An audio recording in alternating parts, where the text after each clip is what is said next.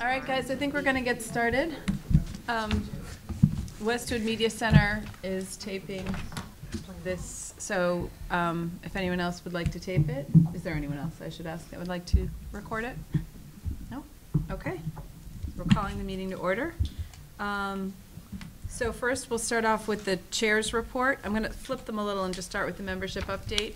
Just quick to let everybody know that Peter Paravolos is actually not going to be on the, um, school building committee anymore. He, I think he's traveling a lot and the commitment was a little bit much for him, so, um, sad to see him go, but we wish him well.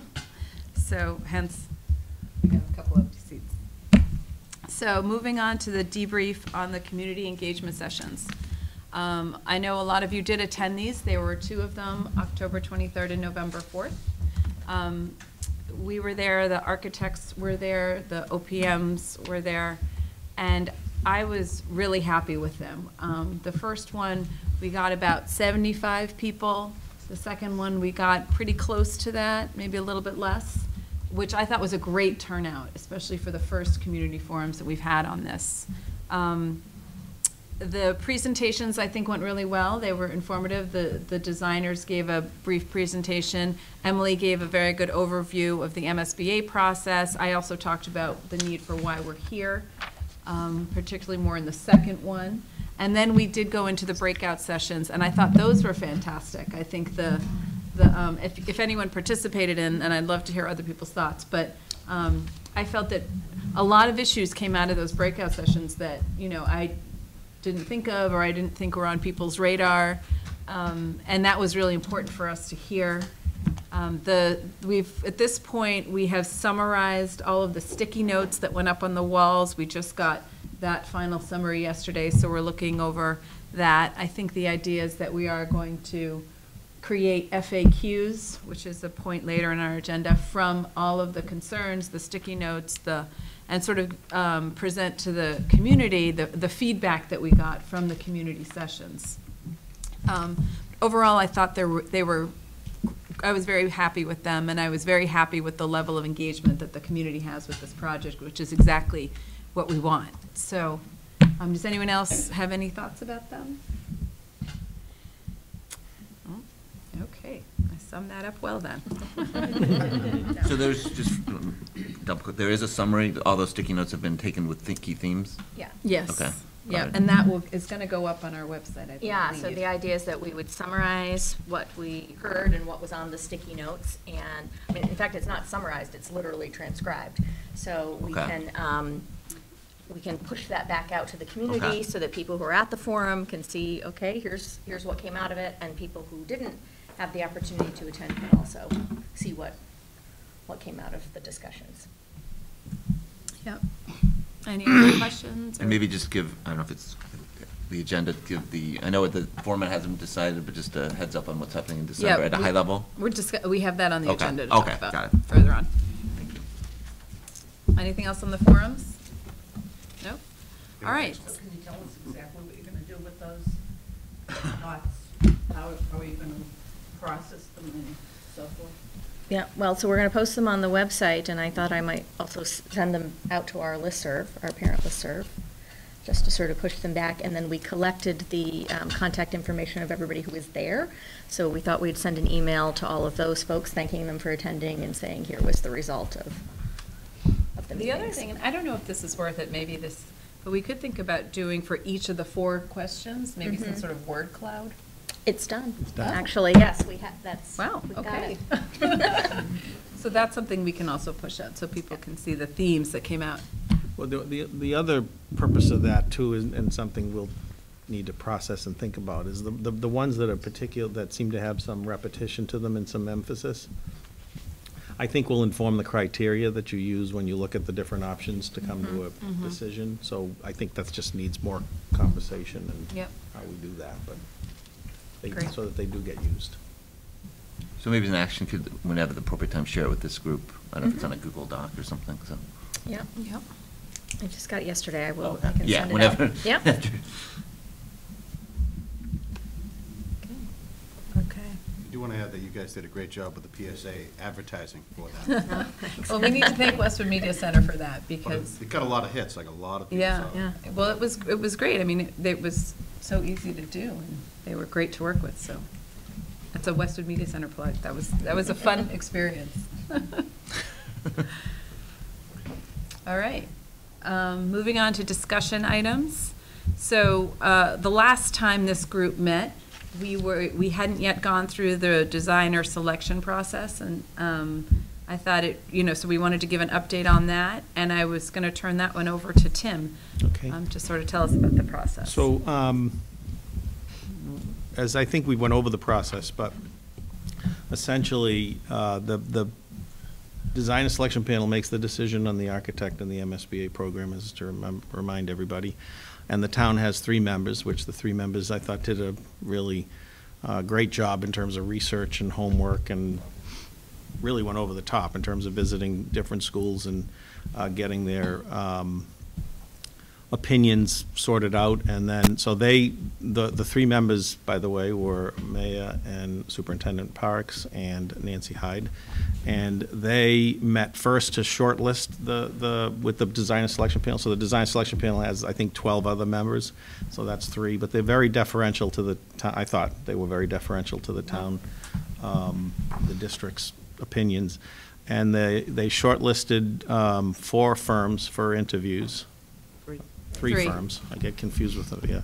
Three firms for interviews, um, which I won't try to remember all the three of them, but um, we, en- two weeks later, that same panel meets again, and the interviews are conducted, and the interviews last 45 minutes or so, and they're basically made up of, uh, I think, 30, 20 or 30 minutes of presentation, which are very strictly monitored by the chair, and then um, Q and A, and um, at the conclusion of all that, they deliberate amongst the panel, again, I think giving the, the town and the district uh, I, weight, more weight than maybe other members of the panel might get.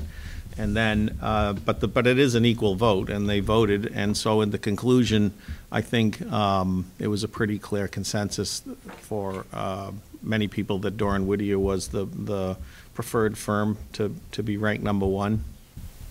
And so Dore + Whittier, who you'll hear more from momentarily, um, was selected the first. So the way that works is you're selected as the, the uh, highest ranked. It means you can negotiate, you negotiate a fee with that highest ranked firm, which we've done, and you'll hear about that later on. Um, And so then that moves forward into the contract. The contract, wh- which we'll get into, is, a you know, the MSBA standard contract, and we'll talk a little bit about that, but, um, so the fee is much more around sort of some of the additional services that we want thrown in. So, um, that's it, so I think it, I mean, I'm, I think everyone's happy that Dore + Whittier has joined the team, and I don't, I don't, they'll talk, Don Walter, for the principal at Dore + Whittier, will talk more about their experience and, and, um, and, um, their thoughts around schools and elementary schools. Yeah, I thought it was a really interesting process because um, we have the discussion, and then immediately everyone says, "Okay, vote." So there's there's no time for us to talk. There's no time for anybody else to sort of caucus at all, and you just go right into the vote. And for someone who would like to think a little bit, um, it was it was it was interesting. But um, as Tim said, the result at the end of the day was, was pretty clear, um, and we're very happy with the result. And they definitely deferred to the district, um, or at least certainly listened to what we had to say, which the result shows. Um, Which segues very nicely into the designer's presentation. Um, We do have later on in the agenda the approval of their contract, so we haven't approved the contract yet, but um, we did want to get them in here and um, have them present to us. So I'm going to introduce Don Walter, who is the principal in charge, and Mike, I'm forgetting your last name. Carollo. I knew it was a P, um, who is the educational programmer. And I think we have a handout that they can, Yes. they have provided. We have a handout that can be used as placemats later for dinner. It's true. I- Yeah, I know you, you guys want to be quick, so we'll, we'll be brief, but first of all, thank you. We're- we're ju, we're just thrilled to have been selected uh, to work in Westwood, and um, in particular on on this project. We- As you'll see, we go through this quickly, uh, we really enjoy doing elementary schools. So, uh, and the whole idea of doing consolidation perhaps of a couple of schools is exciting too. Just adds more moving parts uh, to the, uh, to the process. So I'm Don Walter, I'm a principal with, uh, with Dore + Whittier Architects, and Mike Parolo is here as one of our educational planners, who actually is a former teacher. So this is near and dear to his heart also. We're, we're a 60-person firm, and uh, we predominantly do K-12 public education. So, uh, you know, this is right up our alley. The, uh, just to do a quick page turn, one thing that we use as a theme for this particular project, and it's really true of all of them, but uh, we try to bring it forward, is this idea of doing the elementary school project through the eyes of a child. So, obviously, we deal with adults, we deal with staff, we deal with parents, but this, we're creating space for children. So that's, that's first and foremost in, uh, in our process, uh, thinking as we go forward.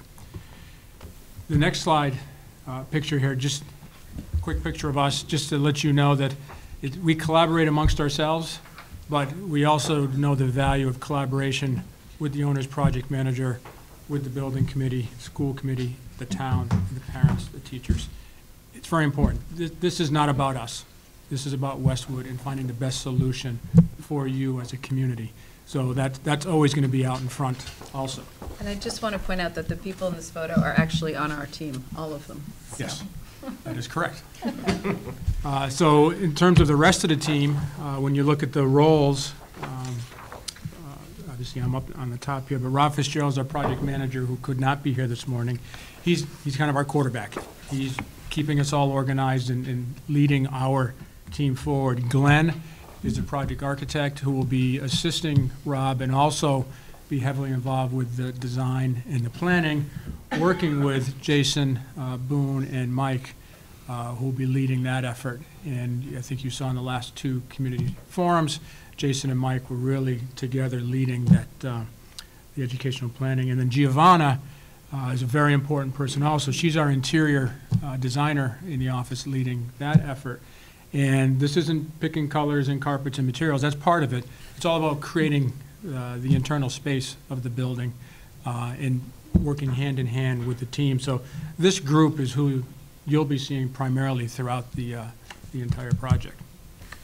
Uh, In addition to Dore + Whittier, we have a team of consultants. I won't go through all this, but uh, we've worked with all of them, uh, almost all of them extensively. And the numbers that you see are the number of projects we've done with each of those consultants. So, uh, and these are people who are heavily engaged in schools, in public uh, design and construction, and as you can see, we've done a lot of work with them. In terms of our experience, uh, this is our 15th MSBA project since 2009, I think, is when we uh, were first selected. And of those 15 projects, eight of them are uh, are elementary schools. And not to, uh, and- and maybe equally as important is uh, the building, energy use, health, safety, daylighting. So we highlight that there are 14 LEED school projects. And that's just one measure of a, of a healthy, energy-efficient building. But that's one of the measures that MSBA uses to uh, help you get more reimbursement points. So that's, that's something that um, uh, we take very seriously. And the eight elementary schools that we've done are on the next page. Uh, We worked uh, a number of years ago now in Dedham at the Avery Elementary School, built a new uh, elementary school behind the high school track. Uh, Currently going under- construction is the Balmer uh, Elementary School in Northbridge, which is a consolidation of two schools, almost 1,100 students there.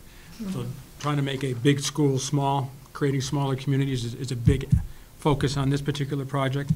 The Mulcahy Elementary School is another consolidation of two schools, uh, just over 700 students uh, down in Taunton.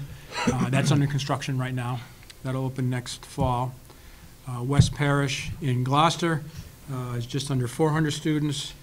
The Park Avenue in Webster, about 800. Pine Grove was a straight renovation, different project with MSBA. That's why that's not a LEED certified project. So that was a straight renovation up in Rowley. East Gloucester is just going to the FAS with MSBA. And we finished with Sunita Williams, which we are just so excited about over in Needham. That just opened, and uh, boy, if you haven't had a chance to go through there, we, we invite you all to, because it really is an exciting project. and we're- we're- Excuse me? How large is the school? Well, it was designed for 435, Uh-huh. And um, the, the community's like, feels a little light, so we were able to craft the space in such a way with lower students per classroom uh, ratios, and they've, they've got about 515 students in there now, and they still fit comfortably. But it's, uh, yeah, it can fit about 535 in there. So there's our elementary schools. And then, you know, about, about this project, we know it- this, this is a Hanlon project, but we're also looking at Deerfield and Sheehan. So this is a, a map depicting where the, uh, the three schools are located. Um, You know, right now, we're talking about looking at the Hanlon site and the Sheehan site as potential locations uh, for schools. But, you know, this is an evolving process, so we, we don't really know where this is going to end up. That's, that's why we're all here uh, meeting, and we'll be talking uh, further. And you can see the multiple enrollments that we'll be looking at on the next slide. Uh, Hanlon alone, Hanlon Deerfield, or Hanlon Sheehan. And then lastly, some of the uh, evaluation criteria. That's a question on the site Yes, map. Oh. What's the black line, the, so if you look at, for example, at Deerfield, you see the little site, but then there's a black dotted line around that? For example, Oh, um, the dash line, sorry, the dash line. Those are the areas that are most densely populated, where the Oh. majority of the students it. attending those schools. Okay. yeah, it's not, not being recognized as the catchment area, it's just the immediate surrounding area. Oh, okay. And then lastly, uh, some of the ideas that uh, we've already been thinking about and talking about in terms of educational goals, you know, best location, community use, uh, you know, what, is this going to be additional rent, renovation, is it going to be new? Want to minimize disruption uh, to students, staff during construction, the impact on traffic, um, depending on uh, what the solution is, and then the cost, and, you know, what are the value adds to the project. So, it's a quick overview. Does anyone have any questions? Could we maybe, in- instead of doing piecemeal, maybe pick a time where we could all go over and, uh, to meet them? Yeah. We're planning, you mean the, the whole, uh, school building committee? Or the, Yeah, or whoever wants to either. go? Yeah, yeah. Yeah, we've been talking about doing that. Um, and I think that you guys were gonna coordinate that for us. Me too, yep. So, um, and, and, I mean, we should see others, whoever's interested, not just Sunita Williams, we should see a few schools. And I think we had a short list of schools we were thinking of seeing. Um, So as soon as we get that up and going, I think it might be tough to do it All together. altogether, or I'm trying to think between now and, um, d- maybe in December we can do it. The Avery would be another easy one to get to. Yeah. Oh, yeah? Um, a parent in one of the focus groups that I suggested possibly doing either, um, a video tour or some interactive photographs of some of the schools that have been done, that, you know, that way other stakeholders could also see. Yeah, I mean, if the schools that we visit let us do that, that would be great. You know, and to that, I'm sorry, to that point, um, you know, I don't, I, I I don't know that you could have kids in videos, and there's a whole other issue. But some of the concerns that came up, at least in the group that I was in, was, um, we're looking at aesthetics, and we're looking at, you know, so when, when we show pictures of an empty classroom, you know, looks beautiful, whatever, but I'm not sure that people understand or can actually visualize the difference in, in teaching and learning that Mhm. goes on. I'm not saying those pictures are bad, I think they're great. I don't know if there's something we can do, though, to, um, for this particular group of folks who think that, um, you know, we're just looking to get a nice, bright, Mhm. shiny, bright new school, and Mhm. it's really not. So really get into the, the need for, for the education piece. Yeah. The yeah, programming. Yeah. I don't know if it'd be helpful, I actually was at a meeting, it happened to be a meeting with uh, some of the, the staff and the principal from Sunita Williams, completely separate uh, math uh, workshop. And um, just hearing them talk about it was really helpful to me, um, kind of what they like about it, what's functional about it, might be helpful for people to hear that. Yeah, someone at our table, at our focus, I forget who was at my table with me, um, said the same thing. She, she is an educator and she wor- works, not in, she works in the Needham district, not the Sunita school, but, um, said, you know, you should go talk to the teachers and find out what's working and what isn't. I'm sure you guys have gotten feedback as well. But I, I think that, you know, to ditto to what Carol said, but I think that, um, you know, showing pictures of the cafeteria and what it could look like, those were great pictures, but I think for people who perhaps don't have kids in the school and, or whose kids have already gone through the schools, they're gonna look at it and say, you know, we don't wanna raise our taxes so that you can have a nicer looking cafeteria. Right. I thought the pictures of the uh, spaces that showed kids um, studying, you know, the workspaces, I thought those were great pictures. Yep. Because it does show how, what the educational benefits to doing the school would be. Yeah. No, it's a good point that we should focus on that. One of the issues in the, the small group that I was in, there are people here who just don't even know why we're doing this. There's a certain level of, the need to get, I know the last time we did the engineering type of work, uh, I think something would be very valuable in these conversations with people getting into this issue. Uh, We compare ourselves with other towns, with MCAS and all this stuff. And last time we looked at some of this, we realized that our nineteen forties and fifties schools are so far out of date with the competitive school systems. I mean, one person at the table said, why do teachers want to come here? You know, opening the windows to get air conditioning. Uh, and it'd be valuable if somebody could actually look at these competitive towns and when their elementary schools were built. I mean, we're prehistoric, and I think, not that that sounds like an important thing, but there's a lot of people who would be won over by able to show them how backward our system, our, our, our buildings are. We've kept them alive, they're safe. The second thing is, I think, as we go through all the background checks on the buildings, is to begin to make it clear to people that these buildings have to be changed. We can get state money or we do it on our own, but the code violations are so bad, we've kept up with them. But you're gonna require massive, massive money spent with or without state money, because some people say, why do we need to go through all this stuff with the state? You know, meet all the, but I think it- it's sometimes be valuable just to be able to point out that this very significant amount of money is gonna have to be spent anyway, just to meet codes and all this, make them safe. We've done a wonderful job doing that over the last 60, 70 years, but I think those two things would be helpful with some people out there who aren't as sophisticated yet to get into this, but why are we even doing this, and why the the town needs to get behind it and support it for, for those reasons. I want to clarify, our building's a state, Charles. We're very safe, but it's very costly, it's a very costly way to do it, and to keep it going into the future. Uh, You know, very significant things gonna have to be spent. No, it- it- It's a very good point. In fact, part of the process is we'll look at a number of different options for the schools. Again, Hanlon being the the the baseline school. And one of the options is to determine what it would take just to keep the building functional. That's Not that talking about code, if you look at Right. the, the chart, that's the code repair option Right. on that, or rent, or it just says reno, but The reno, essentially yeah. that, that does what Don's looking at, just what do you need to do over the next period, and usually you try to game it out if, it- if it doesn't pass. It's kind of answer to an FAQ, what if this doesn't pass? Right. Well, we have to spend, We will, we will be doing that. yeah. So that includes the ADA compliance and all that. Absolutely. Right. It's, it's comprehensive. In fact, uh, our team is going to be in the buildings uh, starting on Monday. Yeah. So uh, our team of architects and consultants will be going through.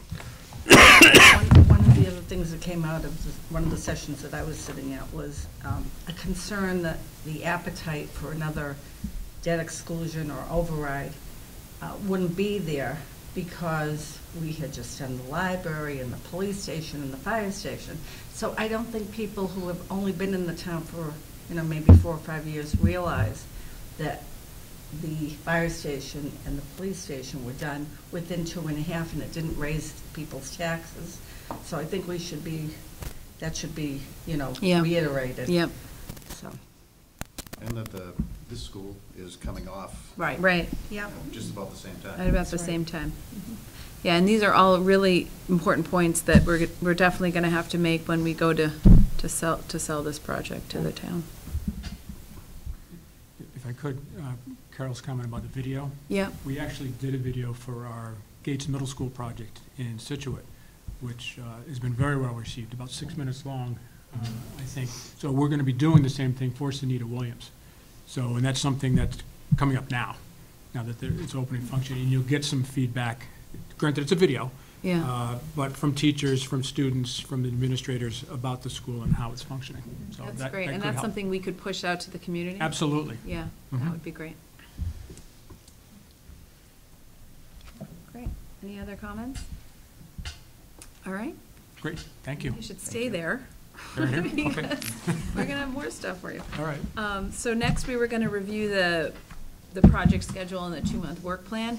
I don't know if you guys wanted, or Tim, if you were gonna do Well, that. I'll, I'll, I'll start it off, but we're going to, it'll be an interactive.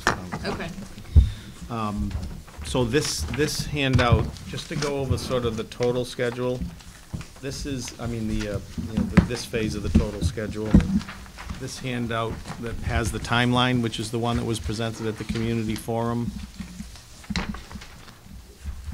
Just to remind people kind of of the big dates that are, that are upcoming. Um, And then we're gonna do a little more micro look at the next two months, three months.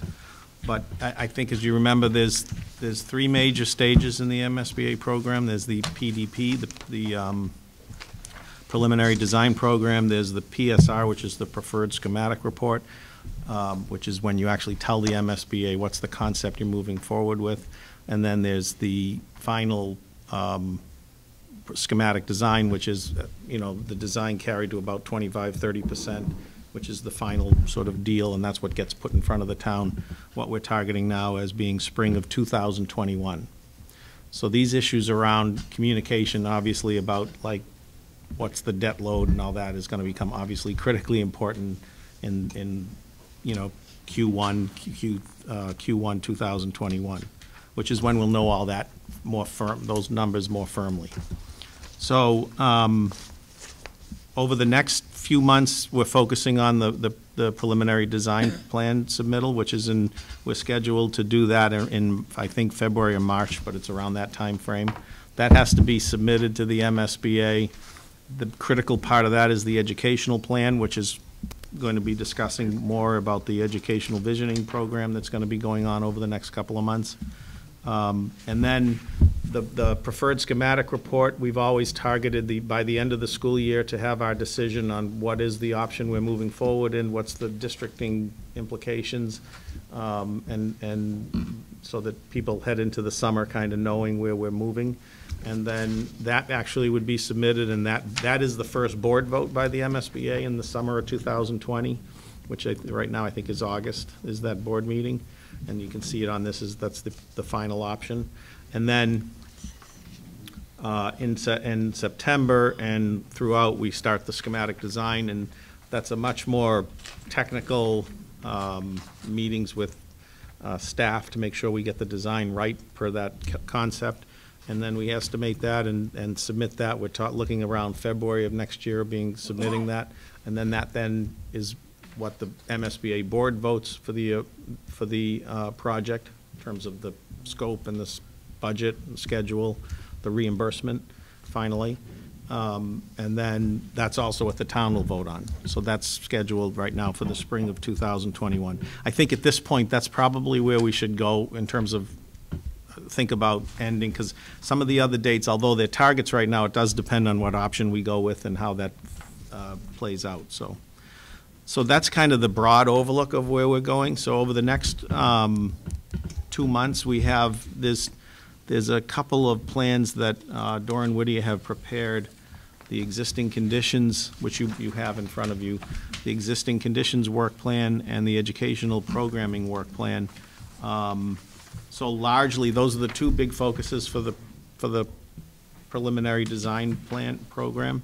And, and I'll let you, Don, you want to just walk through kind of quickly, or Mike, or do you want me to? It doesn't matter, we- can go through it. So, um, looking at the, the site visits, as I said, we're gonna, we're gonna be there on the uh, 11th, and we're also gonna be back on the 13th to uh, be out there with our team. We also will be doing uh, traffic analysis, site survey, and geotechnical uh, analysis. And the geotechnical analysis we're gonna be doing, they're gonna be borings, no test pits or anything like that, so we're gonna minimize any disruption uh, to the site. And those dates aren't, are not yet set, but they're gonna be out there doing some investigative and early planning work over these next couple days. And um, after that, we'll prepare a preliminary report uh, by the middle of uh, November, and then a um, executive summary presentation about the middle of December. So we'll, we'll bat the, that back and forth on the, uh, the whole uh, existing conditions uh, analysis. And then, um, continuing, if we flip it over, we'll, uh, we'll finalize that whole thing by, by January. In addition, because we're going to be going through, uh, doing our, our visioning and our educational planning, which Mike will talk about here in a minute, we'll start developing the options by the middle of December. So what we do now is we develop a lot of options. So we, we could see upwards of 10, 15, 20 different options, because there could be different uh, uh, potential solutions, whether it's additions, or renovations, whether it's new, where it is on the site, you know, what those, in, in going through and uh, determine what all those impacts are. And then when we get to the, what is the PDP, um, that's actually going from, from the, the many down to the few. So, um, we'll be doing that after, after March. So that will be starting in December, and at the same time, in, in the, uh, January, February, we're gonna be doing sustainability charrette. So we know how important that is here in the community. So we'll be thinking about that and talking about it leading up to this, but that, that will be bringing people in and having a larger uh, forum to talk about what some of the goals are uh, for sustainability. And then, uh, you know, the finalization of that PDP submission in February, March to uh, submit to, uh, uh, to MSBA.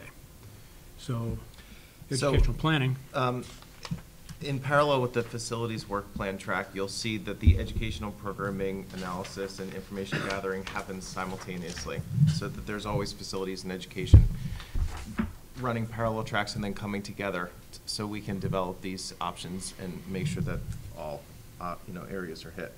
Um, So an educational questionnaire went out last week to all of the elementary building principals uh, via Google Docs, so I can log in at any time and see they're happening and they're being filled out, and they're extremely dense, so I appreciate it, because I know you guys are extremely busy. Um, And then, starting next week as well, while the facilities um, assessments are being done, the educational planners, Jason and I, will be going in and working with principals and others invited to the conversation, and we'll be doing walkthroughs of the building, but through an educational lens. So we actually want to see it with the students there, how they interact, their behaviors, you know, the environment, and how those things come together. Um, We'll also be doing a specific special education interview and visioning session as well on the 19th. Um, And then we have several visioning sessions set up. Um, One is going to be a three-hour PD with teachers um, on December 2nd during the early release day. In that one, since it's mostly educators, we're going to really zone in and focus on who is the elementary child now and in the future. What skills do they need and the difference between basic skills, academic skills, and then these essential life skills that we really need moving forward in the world. Um, and then what the environment then needs to look like in order for that to happen and be supported. Um, and then there will be other visioning sessions as well. Um, right now, we're planning on a community-wide visioning session on December sixteenth, uh, December sixteenth, which will be a full day, and that will look at more of a broader scope of really what the vision for education in Westwood Keep going, and then I'm gonna ask you. Well, let me- let you I- finish your Oh. I was gonna clarify it, Okay, the, what, the thing we talked about last night? Yeah. Yeah, yeah, okay. go ahead. Oh, well, okay. Or, or I can do it now. Yeah, go ahead, go ahead, please, and then I'll, and then I'll We're speak just to. concerned about a full-day session for the. So, I for the think there's a little communities. confusion. So, we had set aside December 9th and twelfth for these evening public forums with the community. Um, there's also December sixteenth. So when I had talked to Tim yesterday, he had mentioned the, the visioning sessions would be four to five hours. The December 9th and 12th ones for the commu, because the December 16th, I think, is targeted individuals, right? We, those are the ones that we're thinking, this, this segment, this segment, this segment. Sure, to And make it's sure all be from- stakeholders Right, are- it's gonna be all- from all parts of the community, but the, the, the public ones are the 9th and 12th. So the question is, what are you envisioning for the evening sessions with the community on the 9th and 12th? Because the four to five hour one that Tim and I discussed, I thought applied to that, but I'm thinking, Because the one on December 16th, the, the all-day thing, we talked about that being maybe 40 to 60 people. This is educators, parents, residents, right? Like trying Right, to get sitting kind of a at tables, representative group. Yeah, absolutely, and Yeah. truly understanding, you know, what is education, what does it look like, t- what does learning even mean in the town of Westwood? Where, where are we going with education? How will we specifically target these buckets that are in the strategic plan that the district has set out, and how does that go, you know, impact the environment? The difference is the nighttime meetings, and, and this we have to iron out a little bit more because we've barely touched on them, but to me, the, the evening ones are more of a, not as a deep, as a deep dive, almost like the information sessions that we just had and received small roundtable community feedback, because those conversations are so limited in time that there's such little that we can get deeply from them. So that's more of a quick hit. So how long? How Or- long will they be? That's what we were. Oh, for the asking. nighttime? Yeah, because last night we were under the impression, probably mistakenly, that it was gonna be four to five hours, and we thought, oh, we're not gonna get a lot of Oh. people to those Oh, sessions. yeah, that's- I think that's we were past confusing bedtime. the we were events. confusing the Yes. events. We were Right, I mean, I'll be confusing in the my December pajamas by 6th then. I have to say, I was confusing the events. So just to be clear, the event, um, the Yeah. all-day event, Yeah. there are specific folks that are going to be here. Yes. It's not open to No. the public to show up and, and, s- okay. No, because the- on that day, we would be trying to sort of Okay. create like a, a group that represents different constituencies Good. and whatnot. And it's not, you, it's not something you can drop in and drop out. Good. Whoever Okay, goes that's needs what to I was trying to commit to the four to five hour Right. Is that window. right? The community forum ones, the, the ninth and the twelfth, presumably, and again, this confusion was, was my mistake, so I apologize for it. Created a fire last night. But, um, the evening ones, I think, are going to be shorter, mo- two hours a max. Right, similar, similar to what we just did. right, Right, yeah, okay. absolutely, and, uh, yeah. Okay. And probably more heavily focused on education versus sort of process and. Right, Yes.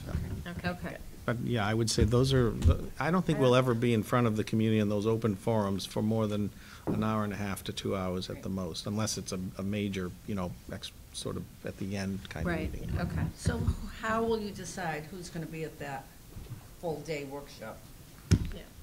Well, that's what we're working on right now. So, um, Who's working on it, this group or? Well, we just started talking about it at our work meet, working group meeting last week, so I think we need to just understand further exactly who would be helpful to have at the table, and then we can figure it out. Yeah.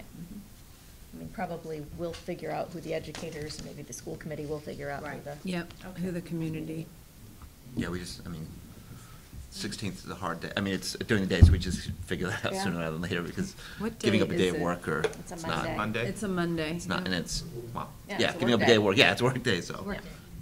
Yeah. Okay. Mm. Maybe we do a subcommittee. A subcommittee of this or of the school committee? On the school committee, if everybody on the school committee can't do it.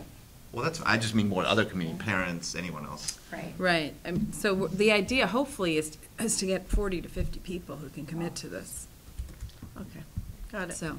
And, and- and we appreciate time commitment to this. Mm. And The, the 40 or 50 people, we, we found in other communities that it, it does work. Uh, You, you can flush out that many people in a good cross-section to make it work, and uh, clearly you want people who are interested in the project too, so uh, we'll help you with that. Okay, great. It's not forty or fifty, uh, community members, that's the Right. whole. s- It's the whole Right. group. Yeah, which, there's a lot of Yes. staff. Right, there's. Yes. So probably what, how many typically community members do you get? Staff aside? Yeah, I mean, it- it could It- be 20 or 25 20, people. 25. Yeah, Yeah. it really ranges as to the, the various groups that you want to make sure are covered. Like, for example, in our, recently, we did visioning session this time last year in South Burlington, Vermont. And they had a, a really large community outreach, and so it ended up being more community members and way less staff. Mm-hmm. But it's really a matter of what you prefer and what you think you can get. The most important thing is that we have a broad brush of all of the important stakeholders that really have a message that needs to be heard, so that way we truly get a vision for what this educational experience needs to be. I think we also have to consider pulling teachers out of classrooms for a whole day, twenty to twenty-five elementary teachers, so what, that's gonna be, I mean, yes, that would be Yeah. disruptive. I mean, I think that it would be classroom teachers, but also special educators and then Right. specialists and administrators. So I, Yep. it, it won't be like we take twenty. And remember, it could be, it could be seven or eight classroom teachers. I mean, the, the whole idea is that that three-hour PD day is really dedicated to the teaching staff. So their voices will be heard in that conversation, so you don't necessarily need as many on that full day. But obviously to have, ideally, if you have, let's say, six to eight tables set up in the room, you'd want a representative almost from each group at each table, and that's how I always determine numbers. So if you can get six to eight staff, six to eight parents, it, it kind of works out that way. I mean, this feels like a critically important activity to have teachers involved in, so, Sure. you know, we will Absolutely. prioritize it. You guys asked the janitorial staff to join this as well? Because Mhm. no one knows the buildings better than them. Yeah, Except I, for- I, Yeah, think yeah, coaches, ja- eh, eh, eh, secretaries, janitorial staff, I mean, any local businesses that may have partnerships with the school or that may have a, a different perspective about what, you know, kids need to come out of high school. Because this isn't just about the Hanlon School, this is about education and what Westwood's legacy educationally really will be, K to twelve and then beyond for the next, you know, 50, 60 years.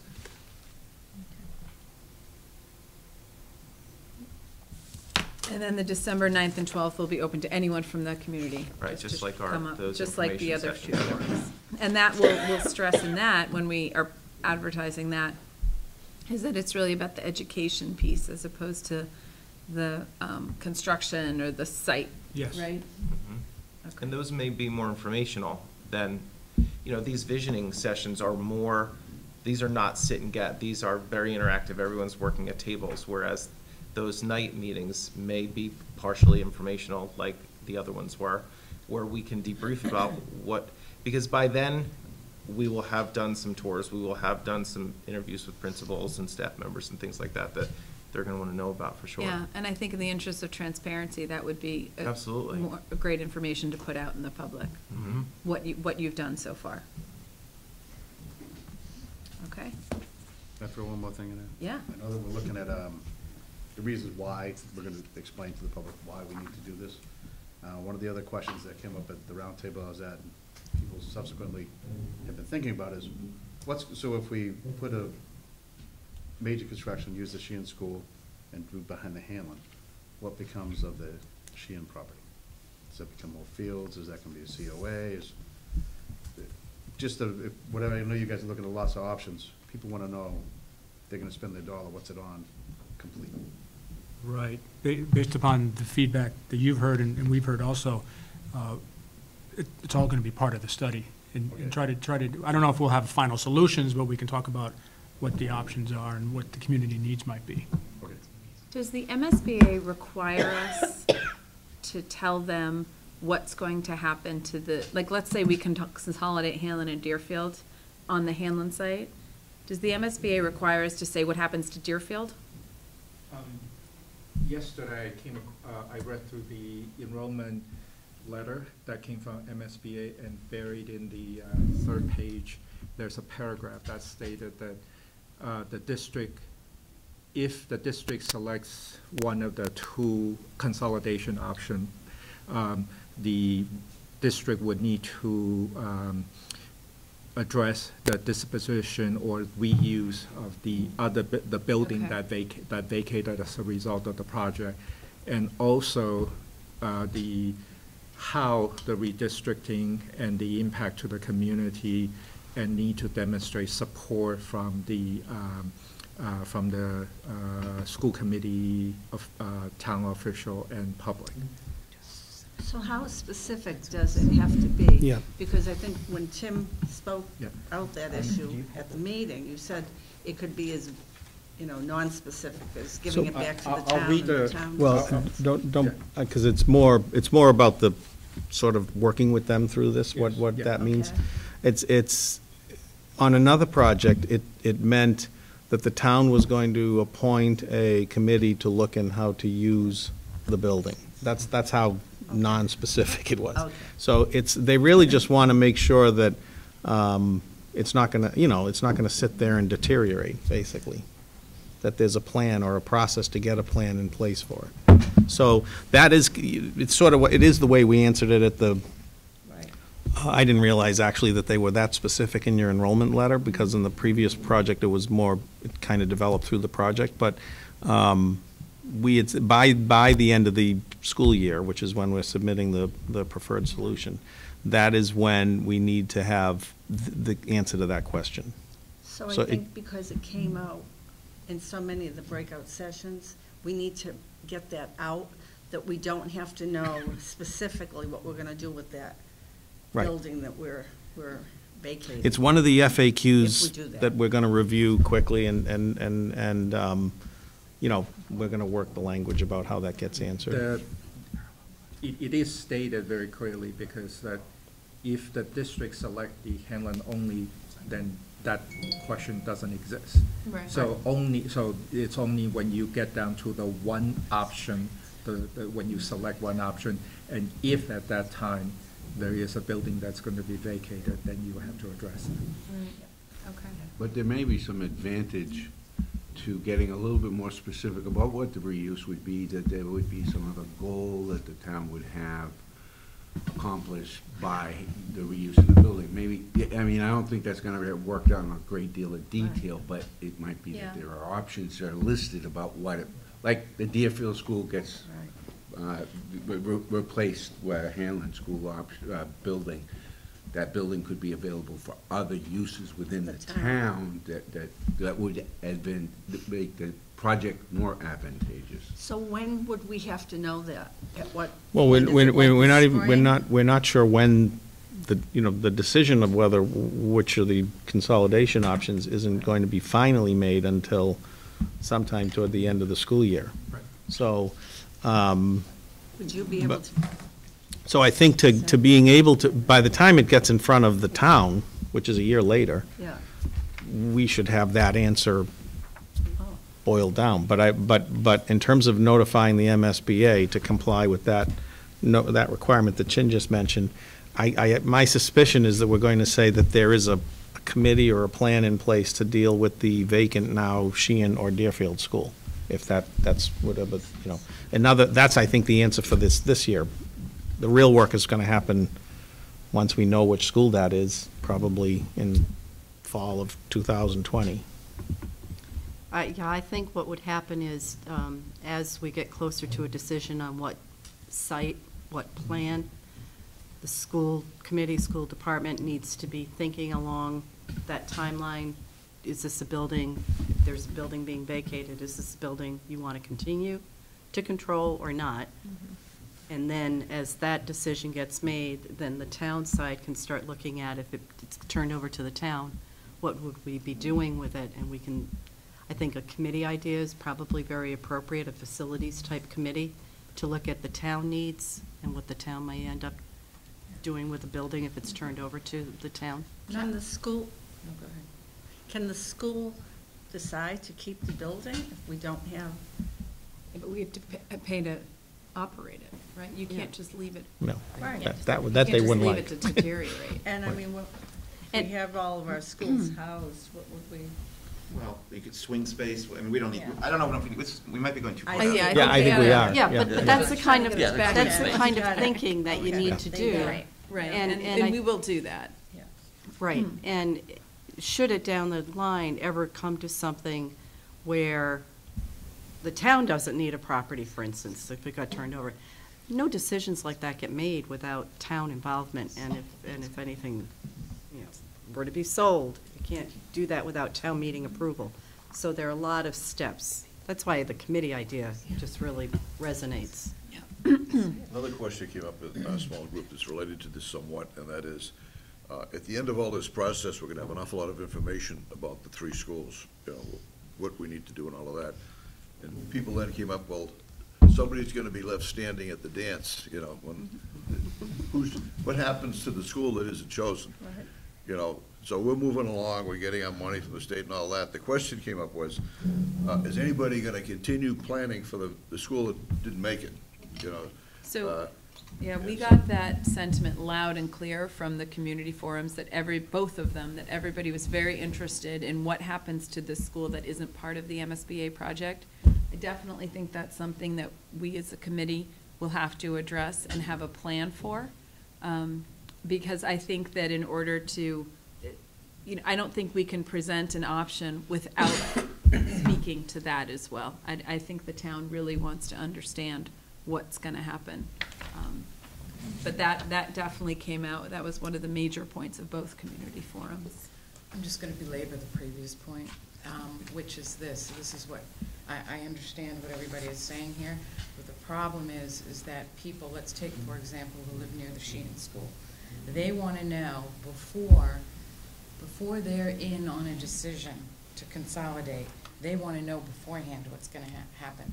They don't wanna wait and, and say, okay, you know, we're gonna have, there'll be a committee later, so don't worry, we'll decide later. That's the concern, is that, okay, if we give up and say, we're, there was this fear that this, um, the building's gonna turn into something they don't want. Mhm. And so that's really what the point was of these folks bringing it up, not so much, um, it was really the timeline, and I know we can't adjust that to say we know exactly what we're gonna do with the building, and everything's gonna be fine. But I think that's what the concern was of a lot of these folks who were in these groups. I agree, and I think that, um, now, the, the, in terms of the timeline, in June, the town isn't voting on anything this Right. June. It's just the school building committee voting first in March for the PDP on the, to narrow down all of those options that Don mentioned, and then in June to vote for what the final option will be. So at that point, I think it's okay to say, we're gonna form a committee to look at what's, you know, this is our final selection, we're gonna form a committee to see what happens to the, if we're consolidating to the school that's, you know, is gonna close, and also, you know, to look at the other school that's not part of this project. It's the year later, when we go to the meeting, that I think we have to have these questions. If not answered, then at least a, a plan. Um, because I agree that the, the sentiment coming out was, if it reverts to the town and the town sells it to a developer, I never would have voted for that project. And I, Right. and that's a only a few people, you know, that's one opinion, but that is an opinion. Yeah. But by saying we're gonna put this into a committee study, that will satisfy the mandate from the MSBA by the end of, so. But in June. Yes. Right, okay. and then we have about a, a Yeah. a little under a year to kind of Right. work through There are, the the- issues. there are two, is- there are two, right? There's the, but presumably now vacant building. Yes, And there's two then, issues. and then there's two issues, just, uh, and. Vacant building and the building that's not part of the MSBA project. And then I Yeah. think, you know, there's, we'll talk about this during the contract discussion, but there's enough money to deal with those issues when we get into that in the fall, once we know those answers. Okay, let's, let's keep going, because we got, I'm conscious of time. Um, So the next, we're looking at an FAQ draft. These are questions that I think, um, Tim, you had put together just based on some of the Mhm. feedback. Um, We also saw some great FAQs from the town of Easton, who recently did, who actually just had a vote passed two days ago, right, on Tuesday? Yes, very um, For a consolidation of two schools into one. Oh, three schools, you're right, Oh. three schools into one, um, through the MSBA. So it's, their FAQs are, I, are very good, very on point, a lot of them. And they won the vote, so we're looking at Easton. Um, But anyway, Tim, I don't know if you want to run through these, or if we just Well, want to. I, I, my suggestion, so these are, these were gleaned from comments that were made at the um, forums. There, so there are really two kinds of FAQs. There's, there's ones that are very specific to this project, and then there are ones that every community asks about, which are, which you'll see represented probably in those Easton ones as Yeah. well. So I, this is really intended, the big point about FAQs is that we do them early, because they're very difficult to catch up to once you're six months into it. So I think the idea here was just to kind of get them out. there. I don't think we need to go through them because really they're a lot more elaborate to try to, you know, Yeah. parcel out than in a big group. But I, th- I suggest that there, there be um, a group that vets, uh, you know, an answer will come probably most likely from a col- collection of us, at least initially, but then somebody in Westwood needs to say, this is the right answer, and this is what we're willing to say is the town. Some, some of these answers we won't come up with, because they're more, they're not, they're district ones.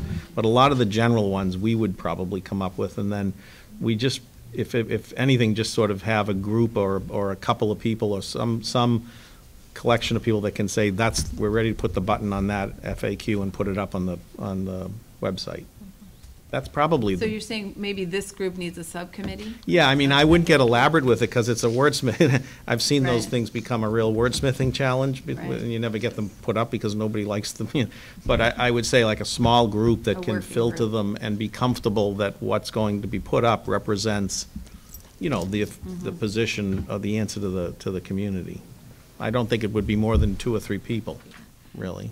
Yeah, I'd be happy to, to work on that. I mean, this feels kind of urgent to me, so, um, you know, if we could decide exactly who's gonna start working on it and get going on it, because, um. I agree, I think we need now to Yeah. decide. Okay. So Tim has put these together. Um, Well, Chin did them, but he- No, he, Chin- I reviewed them, so I'm, you Yeah. know. I mean, I'd be happy to participate. if- I don't know if anyone else in the school committee is, or. Okay. I- We don't want too many, but. Can I just suggest you have somebody that's not too close to it as well, because these answers ring too, too insular? Mhm. You've got to think of people that are the outside audience that actually might go to these and say, oh, oh, so there's my question, and it's a really comprehensive answer. It might not be long, but, for instance, I looked at this and I said, MSBA, what's that? You know, so you have to look at it from, who, who would this help? So I just, if you get too close, you're not gonna have perspective on what the audience needs to hear. Mm-hmm. Mm-hmm. So I think, I think Emily, if you could take the lead on developing the questions. Mm-hmm, sure. And maybe with John's help. John. Doesn't have enough to do. I know, right? So he's got a lot of free time.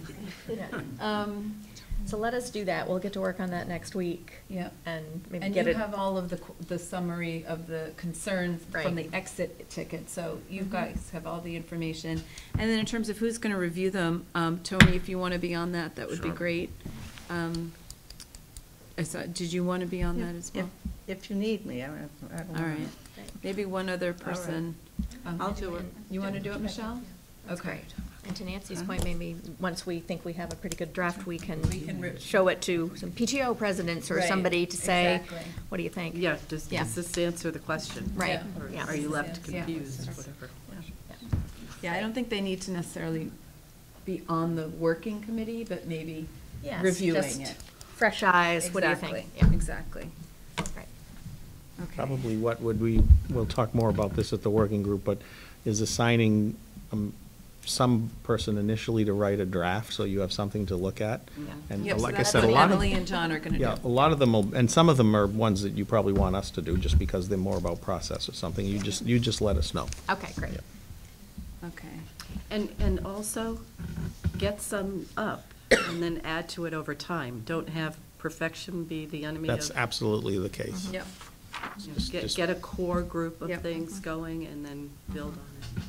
I think by the next week or two, we Okay. can get something. We'll get them, we'll get them done next week, yeah. They're all over. Okay, so that's great. Um, Upcoming community forums, we, we talked about that. I think the concern was the December, the evening ones, but we've talked about that. We can work those more out. Um, So those are the, just as we mentioned, December 9th and 12th. Um, If ever, you know, if anyone can attend, that would be great, one or both. And then we will have more sessions, I think probably in February or in January, once we, we come, we have our, you know, preparation for the short list that we're delivering in March in the PDP. I think we'll have some in February with the community again to go through sort of where we are and, and, and all these options that we've looked at and how we're narrowing it down. Um, And then we'll have more community forums before we submit the PSR, which is the final option, so. Lots of community forums. And I thought the format worked.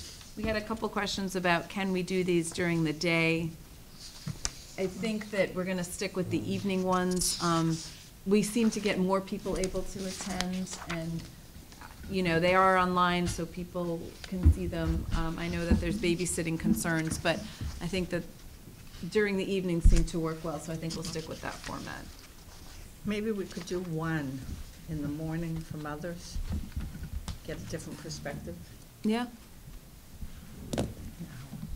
Yeah. We'll have a copy. Huh?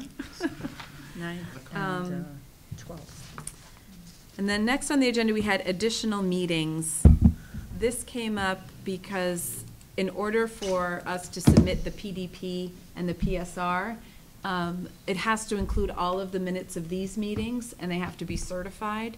So we, at this point, we don't think we need, it- so for example, if we're submitting the PDP in March, and we have a meeting in March, we need those minutes to be approved by the board and then um, certified before it gets into the PDP. So we were thinking we would need another meeting after our March meeting just to approve the minutes. I think at this point, we think we might be able to do that at the April meeting and the amend our PDP filing to include, we'll include them draft with the filing and then amend them once we approve them and certify them. Is there any, I mean, John's awesome. By the time we leave, they're already ready to be sent out. Yeah. Is there any way we can end the meeting? Or almost fin- conclude the meeting? Everybody gets the uh, minutes from John electronically, we read through it, and then we can vote on the minutes? We can, I don't know, are you that good, John? Yes. You'd have to read. If It we may not have- be you know polished, what? but all the minutes will be correct. If we have to submit them as part of the original packet, then we could certainly look at that option instead of calling another meeting. If we, if the MSBA says, you know what, it's fine, just submit them in draft and then you can amend them once you have them certified, then, then we don't, I don't think we need to go through that. But we'll, we're gonna ask that I imagine it would take longer question. for people to actually read the minutes than it would for John to send it out. Right, already done that. right. No, I think it's a good point. It's a good point. So let's, we're gonna take the next couple of weeks to get in touch with the MSBA, see what we need to do. Um, But that's why that was on there. I saw uh, Chin's note, too. Yep. Your memo's in there. Yeah. It is in there. Okay, so um, we're moving on to action items. So the first is to approve the designer's contract, and Tim, if you want to speak to that a Sure. little bit? So as I mentioned, the, the, the the DSP basically ranks the first um, firm to negotiate with, and so we entered into those negotiations with Dore + Whittier, um, you know, pretty immediately, and we sent them a fee request letter, because, as I mentioned, so the MSBA has a, a design, which you, I think you have a copy of, the designer, their standard form contract, which essentially lays, and and it's not really modifiable uh, in the sense of the scope of work. So it lays out basically two things, the basic services and extra services. And the basic services are pretty comprehensive in an MSBA contract, more so than, like, for instance, an, an AIA form of contract. So they're very much, uh, so Dore + Whittier, under their basic services, have all those consultants that you saw that are listed in their team, um, are all, all those services that, that they do are all included pretty much under basic services, with some exceptions, which I'll get into. And so that's the, that really takes us right through to the town meeting and, and vote. That, those services take us to that point. The extra services are typically things mostly surrounding site investigations um, and existing kind of conditions evaluation that kind of can be unique in, in every project a little bit.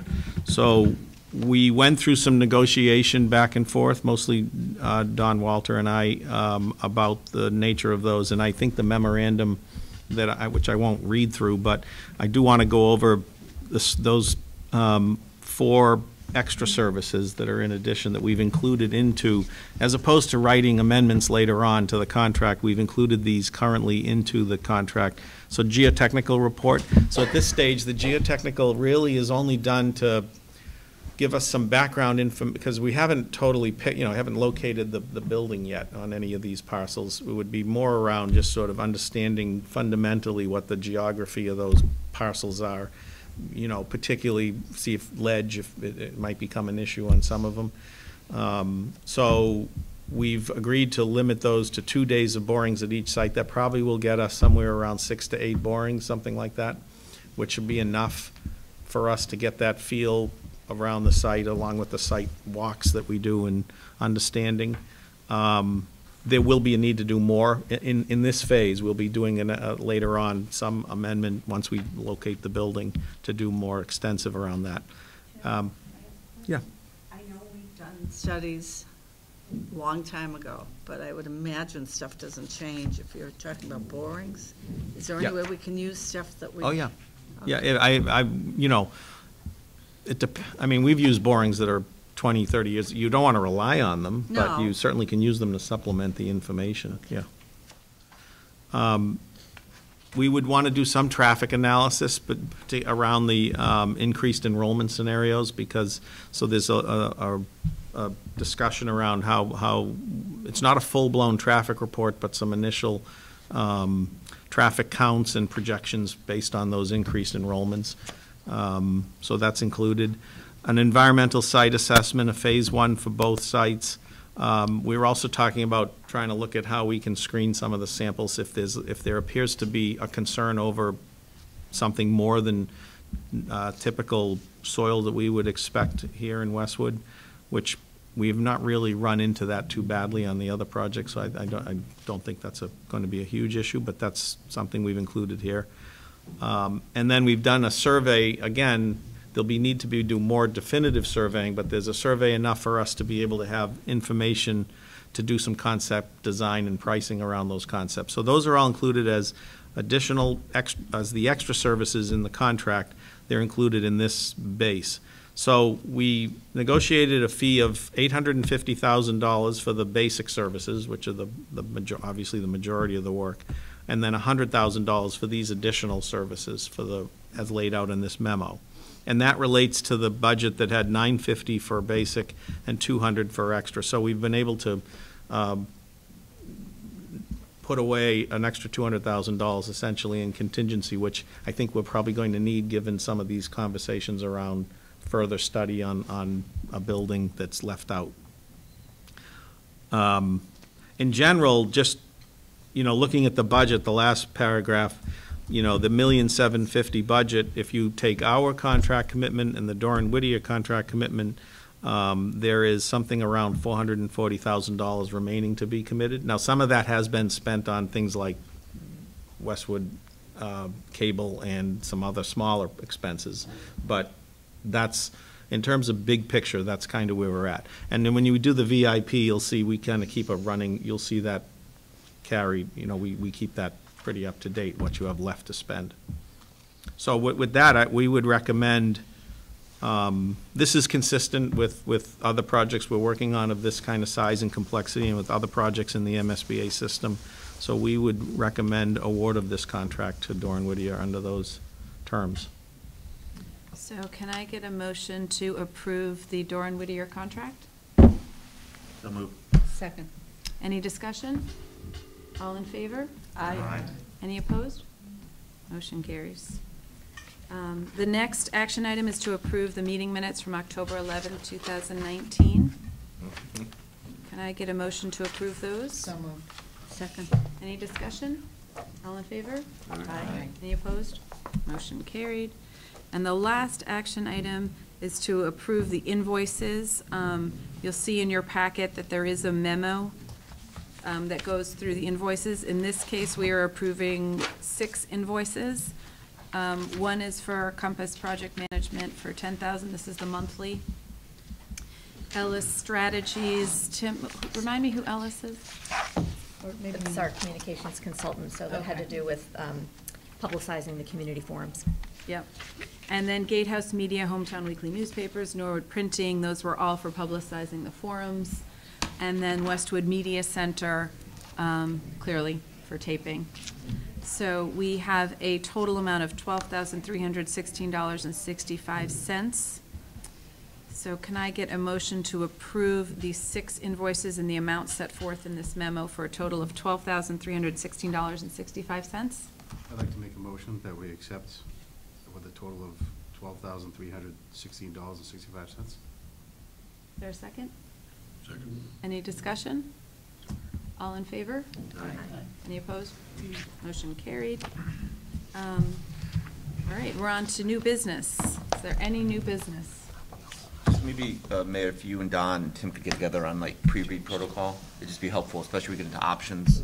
to be On able what to protocol? Pre-reads, like seeing materials ahead of time. Okay.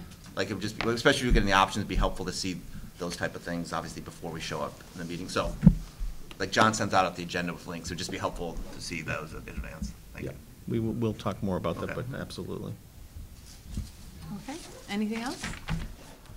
Nope, our next meeting is Friday, December 13th at 8 AM. Oh, Nancy? I just want to say this is Mike Jaillet's last time being here. Oh, that's right. Uh, Because at our next meeting, we will uh, be bringing Chris Coleman in, our new town administrator. Is Mike coming too? No, that will be after Mike's. He's- I have to say, and I've said this wherever I can, Mike has been extremely generous to stay with us through the transition, and he and Chris will actually overlap for a few days, um, which really helps everybody. And uh, so it's, it's worked out very well, but all good things do come to an end at some point, so. Sadly. Very sadly for us. Thank you, Mike. Thank you, Mike. Mike. Thank you, you've, you've been instrumental, and I was definitely in denial. As I am every day. Um, Okay, Uh, can I get a motion to adjourn? Motion to adjourn. Second. All in favor? Aye. No opposed. Thank you, thank you, everyone, appreciate the time, as always.